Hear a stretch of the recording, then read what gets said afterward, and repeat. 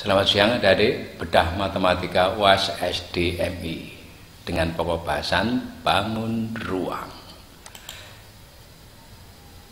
Bangun yang memiliki enam sisi dan tiap sisinya berbentuk persegi adalah A.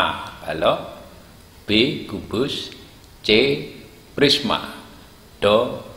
Bola Ayo, yang tepat yang mana? Nah, yang tepat adalah ayo satu dua tiga. Ya ini ku kubus ya kubus ini. Nah, ntar ini kok gak nyala.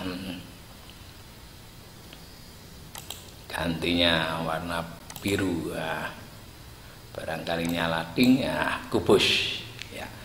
Kemudian lanjut ke bagian yang kedua. Banyaknya rusuk pada kubus adalah A 6 B 8 C 12 Do 15 mana yang tepat? Ayo kita lanjutkan lagi. Jamnya adalah yang C 12 ya, lanjut. Kubus yang memiliki panjang rusuk 8 cm maka volume kubus adalah titik-titik-titik cm kubik.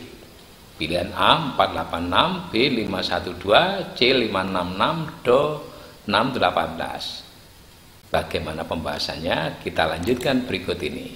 Nah, volume kubus kita misalkan V itu sama dengan S pangkat 3 alias panjang sisinya dikalikan apa dipangkatkan 3 alias sisi kali sisi kali sisi. Nah, kalau tadi panjang sisinya 8 alias panjang rusuknya atau panjang sisinya adalah 8, maka volumenya adalah 8 pangkat 3. 8 pangkat 3 artinya adalah 8 kali 8 kali 8.